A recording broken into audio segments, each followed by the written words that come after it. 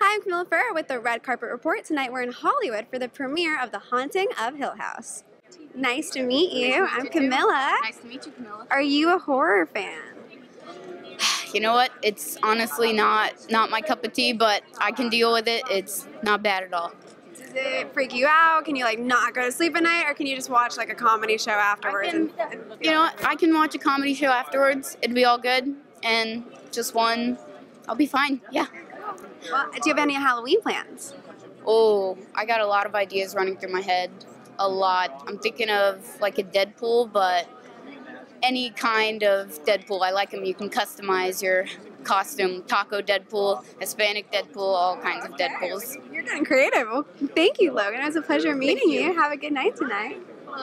If you like this interview, give it a thumbs up, subscribe for more videos, and in the comments below, tell me what your favorite scary movie is.